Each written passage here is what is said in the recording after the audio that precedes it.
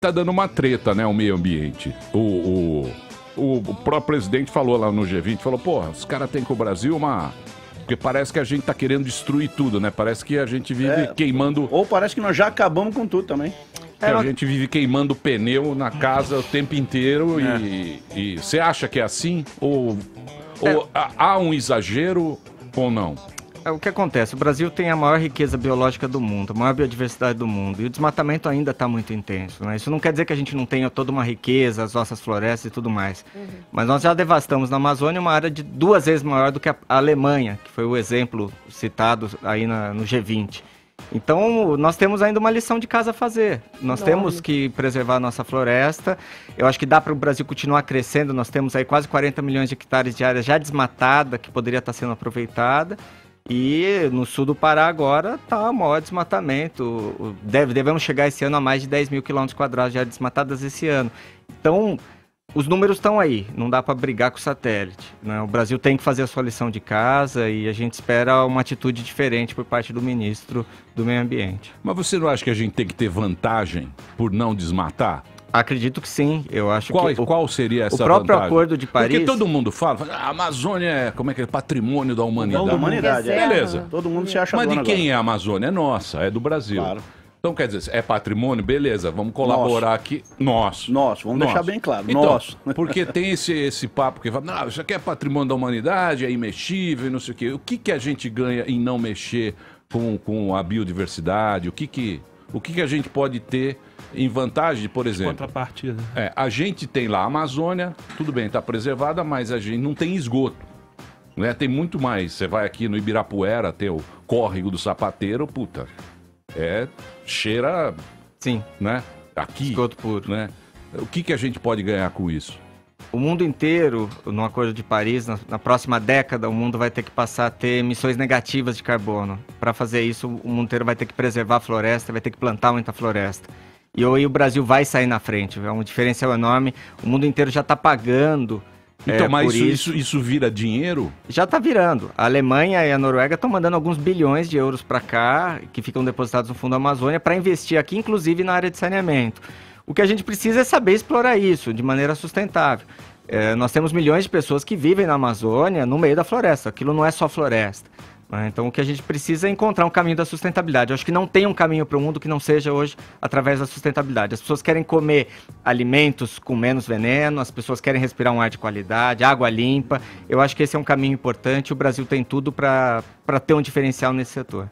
Mas você não acha que isso é muito elitizado? Essa- essas causas de. É lógico que todo mundo é a favor da. da da Do meio ambiente. sustentabilidade e tal, mas você não acha que é, que é muito elitizado você falar isso para um país que é meio pobre, como o Brasil? Porque, pô, em Nova York, beleza, o cara falar, né? Lá tem essas ONGs, eles se encontram naqueles hotéis em Paris, aquela reunião e tal.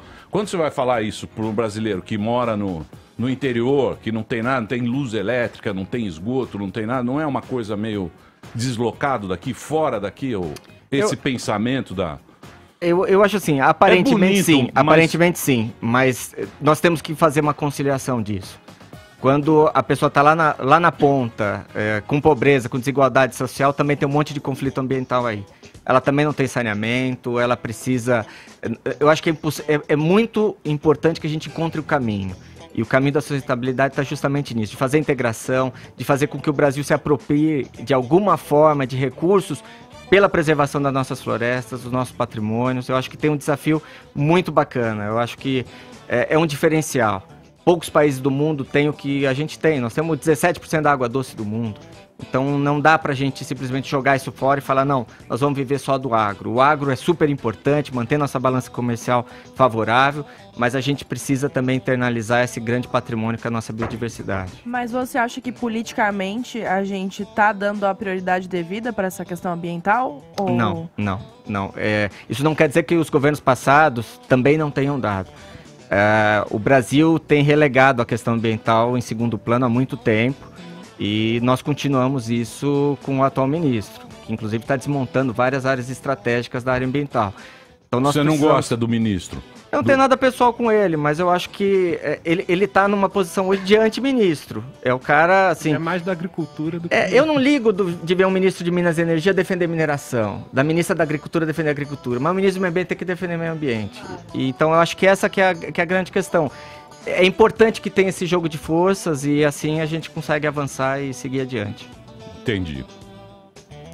E... Fala aí, ô, coronel. Vamos falar aqui. Ele falou uma coisa muito importante: nós já temos muitas áreas desmatadas. Então, quem tem juízo, já que desmatou, então vamos plantar lá. Vamos levar esse agronegócio para lá.